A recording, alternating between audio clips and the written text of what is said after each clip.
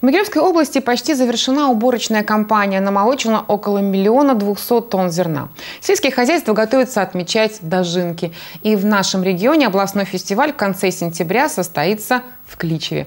В честь этого события в районном центре появится скульптура под названием «Рок изобилия». Сегодня в гостях у программы «Днями» автор Андрей Воробьев.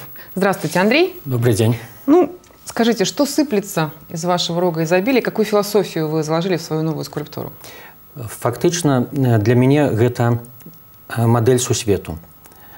Гэта рог, які вісіць у небе, такая чароўная скульптура. Угу. Глядач спачатку будзе бачыць вялікія прадметы. Гэта гарбуз, кош з журавінамі. То есть то, что есть у нас. Так, ўсё багацце, якое бывае ў нас на стале. А далей, калі погляд будзе падымацца вышэй, угу чалавек глядач убачыць хату под яблынямі а далей горад а далей усю зямлю якая будзе уходзіць ва ўнутр гэтага рога а над ёй парыць бусел Он охраняет нас ваш бусел так сваімі крыламі ахоўвае нас і робіць жывымі По древнегреческой легенде Зевс сделал сломан рог козы рогом изобилия, да, в котором не иссякает еда и питье. А как вы считаете, у нас вдоволь всего в стране, мы все можем? Гэта складанае пытанне. Да. Э, нам ёсць да чаго імкнуцца. Безумоўна, у нас ёсць бульба на стале, у нас ёсць простыя рэчы, якія мы любім, без якіх не можам існаваць. Ну а марцыпаны па меры неабходнасці таксама напэўна будем здабываць. А, насчет того, что мы можем. Вы принимали участие в съемках реалити-шоу «Понаехали два каникулы вслепую», которое снимала наша телерадиокомпания. И девушки, участницы кастинга, были у вас в студии и пытались высказать свой взгляд на ваши работы. А, как вы считаете, сегодня молодые люди, которые, в общем-то, живут в интернете, а способны ли вот так вот вживую, не прячась за аватарками, рассуждать, мыслить, высказывать свой взгляд и видеть вашу работу? Конечно. Мне вельмі спадабаліся удзельнікі шоу. Некаторыя погляды для мяне былі новымі і гэта было цікава для мяне.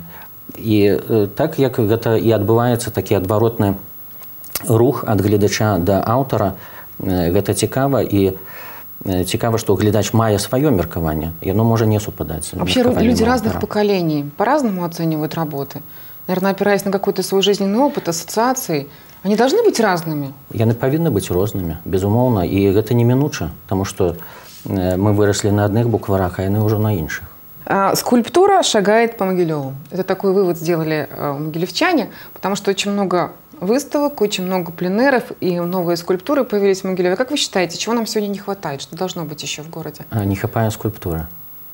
Вообще, в принципе? Так, э, скульптуры не бывае шмат. Э, куды б не прыехаў якую б еўрапейскую, напрыклад, сталіцу, э, там куды не кінь погляд, усюды скульптура, гэта ажыўляе, гэта робіць горад адметным, гэта душа горада. І таму я ну, сваімі сіламі спрабую штосьці зрабіць і штосьці атрымліваецца.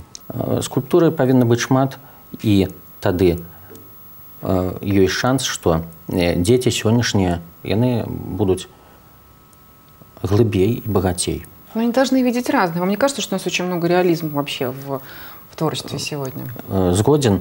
Хотя вось вынікі пленера показали, что могуць быць і не зусім і зусім нерэалістычныя працы і яны таксама знаходзяць водгук тому что скульптура гэта не толькі сюжэт гэта сюжэт гэта літаратура это не застывшы камень скульптура это нешта жывое гэта гэта можа быць і застылая ў нейкім сваім моманце але э, ажыўляе моменте есть жизнь правильно? Так. і, і калі глядач падыходзіць у гэтым таксама ёсць жыццё і калі дакранаецца да шурпатага каменя альбо гладкага альбо цёплай на выгляд бронзы вось гэта ёсць жыццё і не абавязкова там павінен быць нейкі літаратурны вербалізаваны сюжэт вы меняли свои мысли об этом роге изобилия что там должно быть или он пришел к вам сразу и вы поняли что адразу прыйшло разуменне як гэта павінна быць а набор прадметаў ён я іх шукаў Таму што не любы прадмет можна зрабіць у скульптуры.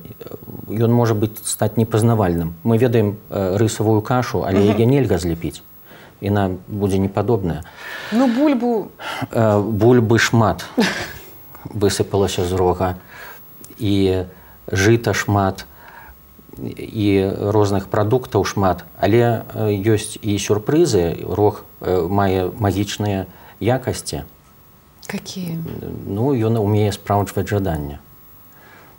Зрабіўшы здымак, кожны чалавек можа сфатаграфавацца, трымаючы ў руках гэты рог. І такім чынам кіруючы сваім дабрабытам і шчасцем. Можна хацець і духоўных каштоўнасцяў. Іх сімвалізуе кніга, якая там будзе. Можна і матэрыяльных, што ж, канешне, без і этого тоже никуда. Да? Ждаючы аўтамабіль зможа дакрануцца да аўтамабіля і ён будзе набліжацца да яго. Я думаю, что дотронусь до вашего бусла. Благодарю вас за интервью. Желаю, чтобы ваши работы всегда были людям интересны. Спасибо. Дякую.